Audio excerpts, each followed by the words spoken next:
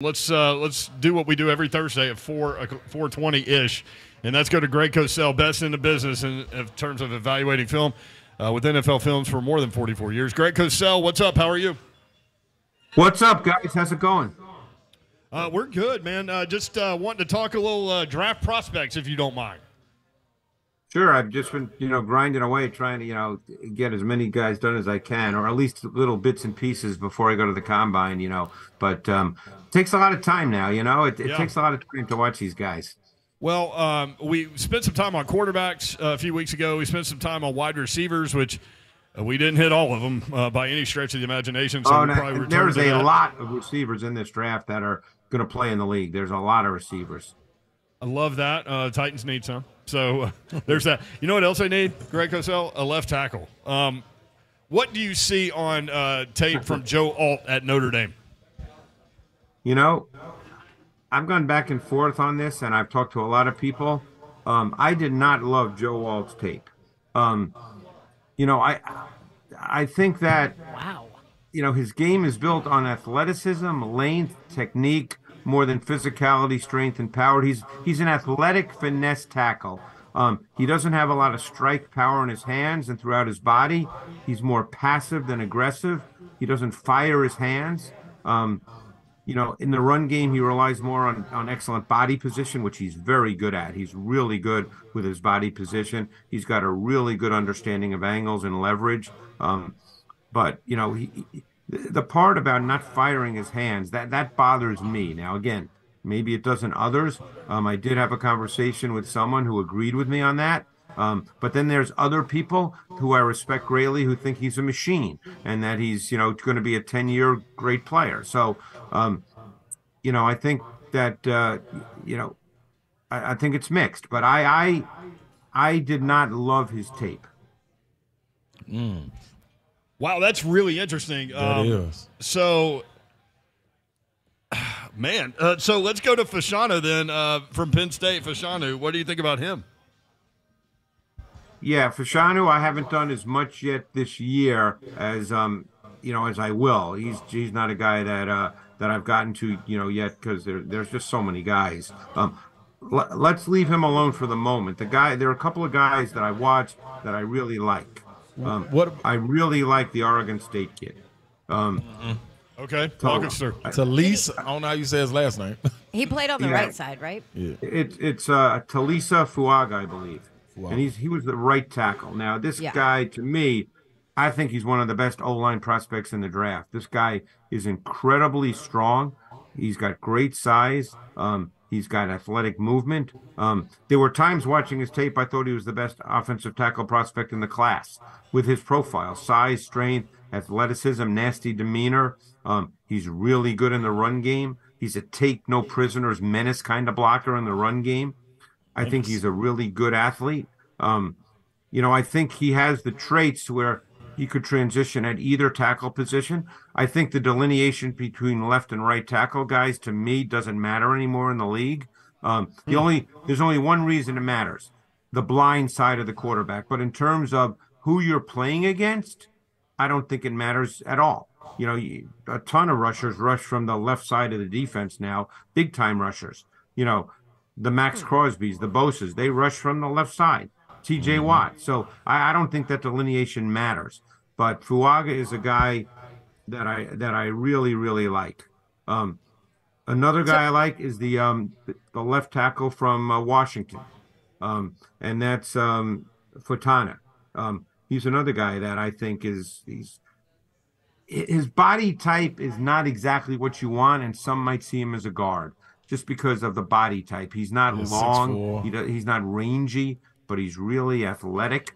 Um, and uh, you know, obviously they threw the ball a lot at Washington with Michael Penix, and they threw the ball down the field. So you saw him with a lot of the pass sets that are required in the NFL. You know, the 45 degree sets, the vertical pass sets.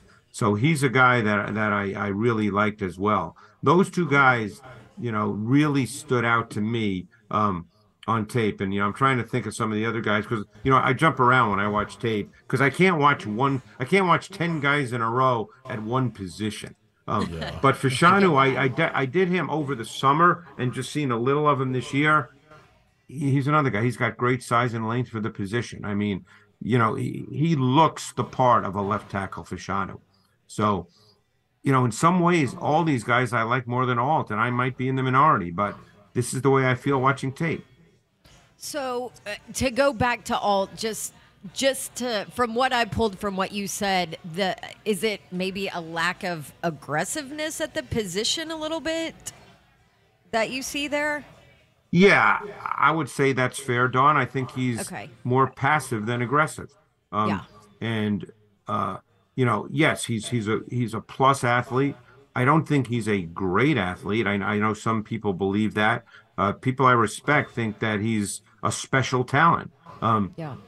I did not come away from watching his tape believing that. And I watched him last summer uh, from 2022, and I felt that way. And I've watched him. I'm going to actually do more work on him this year, but I've seen a, a significant number of games. And, you know, I just felt that he needs to be more aggressive and assertive with his hand strikes in pass protection. He's got a tendency to place them as opposed to fire them.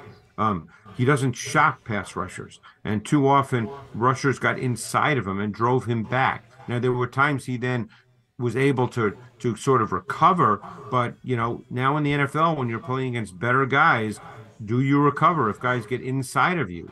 Right. I don't know. You know that you know he's much more of an extender with his arms than a striker, and and. You know he's got long arms, so sometimes that could that, compensate yeah. for it. But still, you know, you just like to see him be really aggressive with his strikes as opposed to passive. So, uh, talking about the Oregon State guy, because you mentioned the the kind of right tackle, left tackle. Like, yes, left tackle is the blind side, but um, uh, is That's a that great point, Yeah, by it the is way. a great point. But is is he a guy like a guy like that? If if you draft him, you keep him on the right side. Is that all he's ever played? Do you switch him to the? Can he play left tackle? You know what I mean? Like how how does that work when you watch film on on guys? Can you Well- see if they can move? I guess.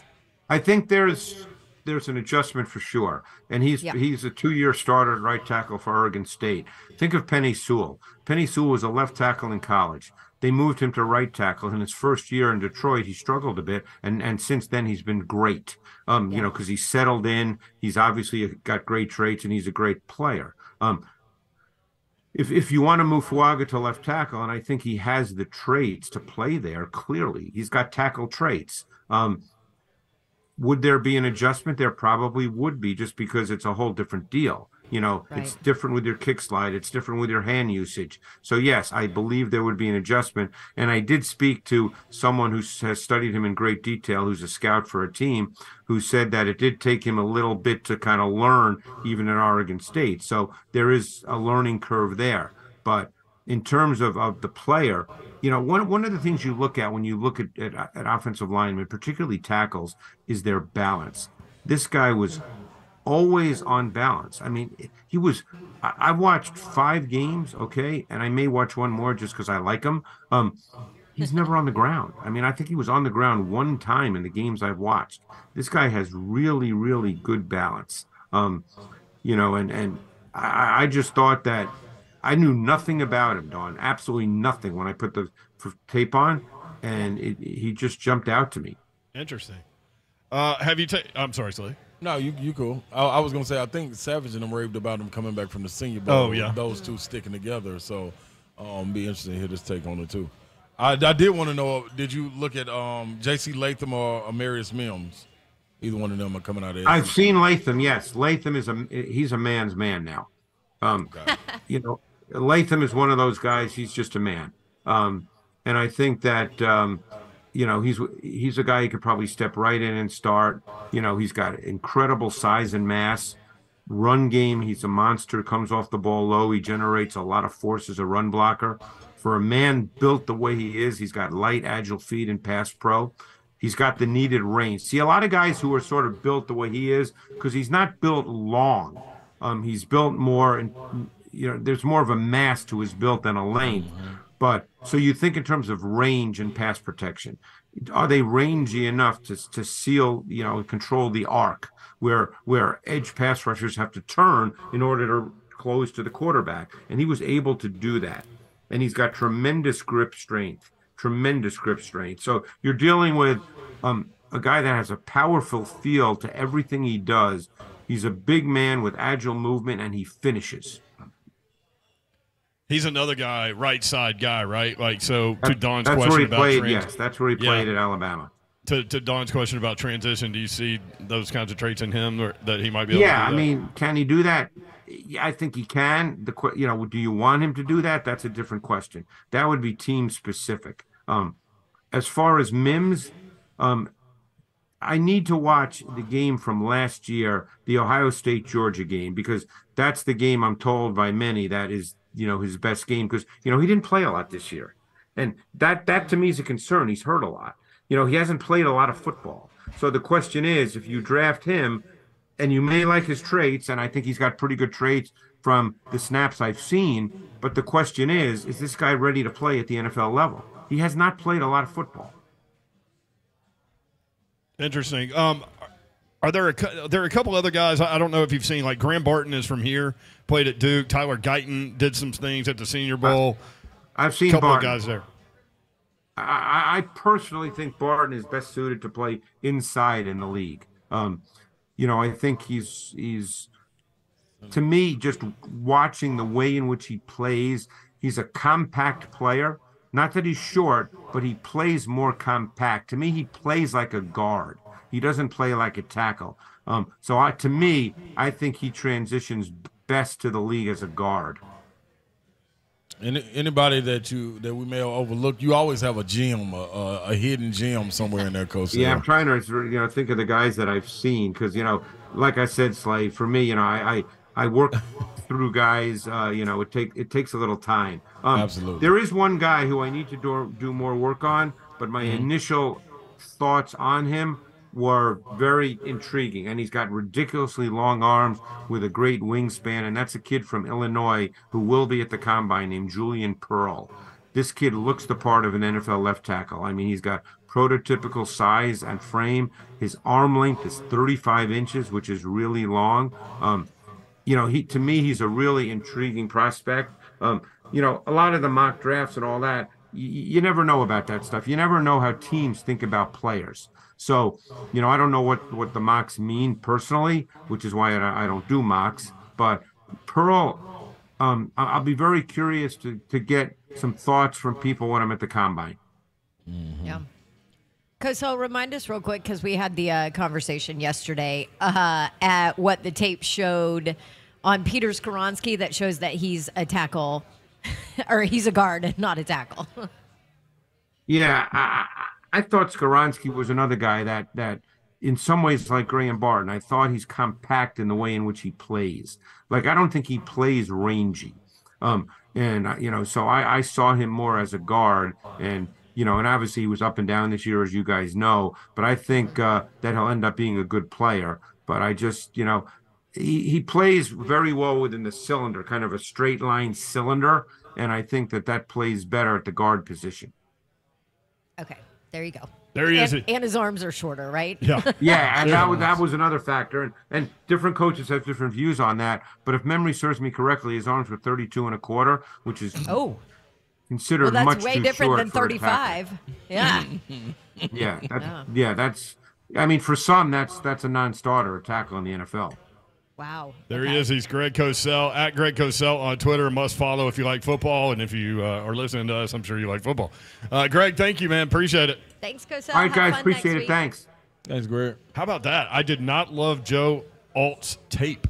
Yeah, that's saying something. Interesting. No, but the reasons he didn't love Joe Alt's tape, like now I want to go watch a bunch Yep. of Joe Alt to to make my to form my own opinion. But the passive, not aggressive, that's concerning. Yeah, tries to get away with athleticism.